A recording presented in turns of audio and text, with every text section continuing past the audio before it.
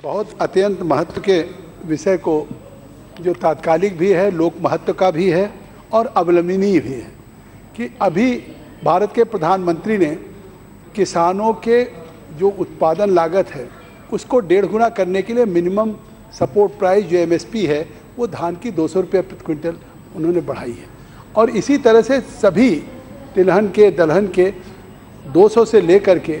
और लगभग चार पाँच हज़ार तक बढ़ाया है उसर में और दाल में सारी चीज़ों में। लेकिन इसके बावजूद,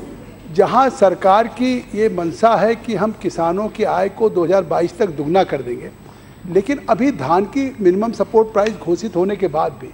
जो हमारे इलाके में उत्तर प्रदेश में और पूर्वी उत्तर प्रदेश में खास तौर से जो धान है, जिसको मिलर खरीदते हैं और सर एफसीआई लेती है तो वो कहती है कि 100 किलो धान में आपको सड़सठ किलो चावल देना है। लेकिन पड़ता बासठ तिरसठ किलो से ज़्यादा नहीं पड़ता जिसके कारण पिछले साल भी मिनर्स ने धान को बहुत दिन तक नहीं खरीदा जिससे हमारी धान की खरीद प्रभावित हुई। तो हम एक तरफ़ से केंद्र सरकार अगर इस दाम को बढ़ा रही है कि किसानों के उत्पादन लागत का डेढ़ गुना मिले तो मैं मांग आपके माध्यम से खाद्य रसद मंत्री जी से करना चाहता हूँ कि वो फ़ूड कॉरपोरेशन ऑफ़ इंडिया से कहें कि जो जितना उस धान में चावल का पड़ता पड़ता हो उतना ही उसको सड़सठ से घटा के बासठ तिरसठ श्रीमती मीनाक्षी जिससे किसान का एक एक धान खरीदा जा सके और उसको सरकार के द्वारा घोषित मिनिमम सपोर्ट प्राइस मिल सके। धन्यवाद।